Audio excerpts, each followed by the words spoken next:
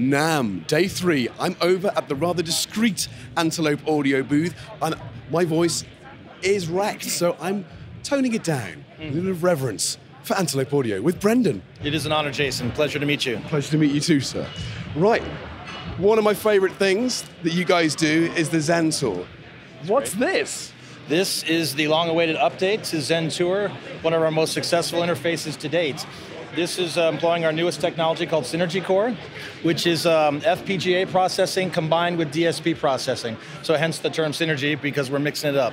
We have two FPGA processors controlling four DSP chips in this device. Uh, we have uh, the, the, same four uh, instrument inputs and discrete preamp outputs. These are the same discrete preamps that are in the Orion Studio, so you get rack mount quality in a portable device.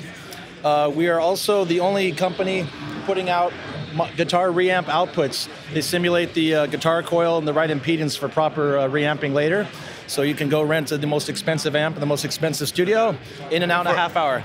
exactly, which is what you want. But also for synth guys, I mean, you can plug your synth straight in there, get it out to something really random and, and wild, and start really playing with it. Yeah. You know it. You know it. Um, yeah. So that's good. So you've got also analog uh, outputs here yeah, as well on the on the D sub. sub. They're DC coupled, so you can play old analog synth signals. That one hertz signal can travel through there. If you don't have DC coupled outputs, you can't uh, control those synths. And um, yeah, so as you see, we have uh, we have 124 dynamic range on the inputs, uh, 127 on the outputs, and then we have a separate DAC for the monitor control.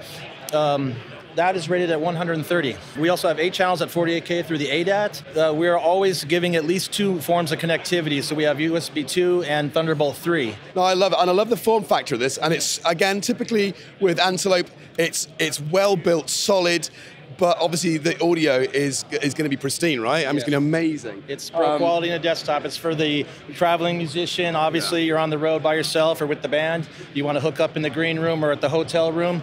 Uh, also for home studio enthusiasts, you want to make the quantum leap to pro audio. Just yeah, one device, yeah. retailing at 1995. 1995, and I think that's that's the that's the wonderful thing. Is that US dollars? Yes. Okay, do you know the euros? Uh, I think it's the same in euros. Same in euros, so, yeah. 19.99, and it is going to be a piece of kit that you can put in your studio capture that audience, and it'll it'll grow with your need. But if you just need that, it'll do everything for you. And you're going to want to pass this down to your grandchildren. So get one now, get two now, put one in the box and leave it, and then you know sell it for about fifty thousand in about ten years. Exactly, that's what we want. Brendan, thank you very much for sharing that Bless with your me. Heart. Hey, you guys are awesome.